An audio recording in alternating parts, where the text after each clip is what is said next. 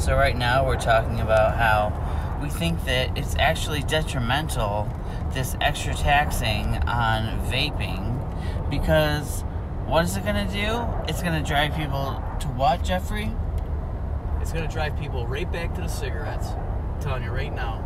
It is. It's going to drive them back to the cigarettes. And before you know it, we're going to have another epidemic on our hand. And, you know, you can try and stop it all you want, but people are going to find a way to make this work. We've already found ways to make it work. You might have us jumping through hoops, but we're still making it happen. That's right. Right? That's right. That's right. The vaping community cannot be stopped. No. Wet we- vapes went to the res. Smartest thing they'll ever do.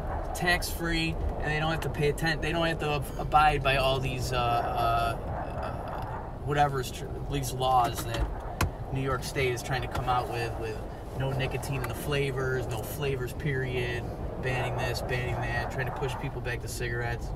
I completely agree. See? I fully endorse this deal.